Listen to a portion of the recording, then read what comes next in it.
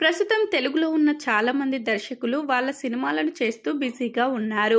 ఇక తమిళ సినిమా డైరెక్టర్లు కూడా మన తెలుగు హీరోలతో సినిమాలు చేయాలనే ఆలోచనలో ఉన్నట్లుగా తెలుస్తుంది. ఇప్పటికే తమిళ్ళో స్టార్ డైరెక్టర్ అయిన లోకేష్ కనకరాజ్ తెలుగు హీరోల మీద ఫోకస్ చేసినట్లుగా తెలుస్తుంది. ఇక ఆయన రామ్ చరణ్తో ఒక సినిమా చేయాలని సోషల్ మీడియా ఫ్యాంటసీ బ్యాక్డ్రాప్లో ఒక కథను కూడా వినిపించారట.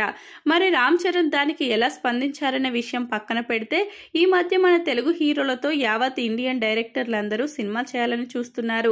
దానికి గల కారణం మన తెలుగు హీరోల క్రేజ్ అనేది భారీగా పెరగడమే అని చెప్పవచ్చు. ఇక అయితే ప్రభాస్ ఎన్టీఆర్ రామ్ చరణ్ అల్లు అర్జున్ మహేష్ బాబు పవన్ కళ్యాణ్లతో ఎక్కువ మంది సినిమాలు చేయడానికి ఆసక్తి చూపిస్తున్నారు. ఇక ఎప్పుడైతే బాహుబలి సినిమా వచ్చిందో అప్పటి నుంచి మన సినిమాల చరిత్ర అనేది మారిపోయింది.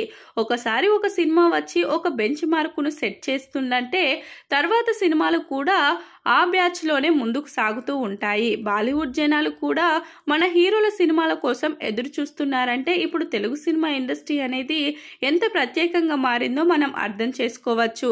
ఇక తొందరలోనే Telugu cinema industry Indian cinema ఇండస్ట్రీని శాసించబోతుంది అనేది మాత్రం వాస్తవం. ఇక రాబోయే రోజుల్లో మన తెలుగు హీరోల సినిమాలు మరింత భారీ వసూళ్ళను రాబట్టే అవకాశాలు కూడా ఉన్నాయి.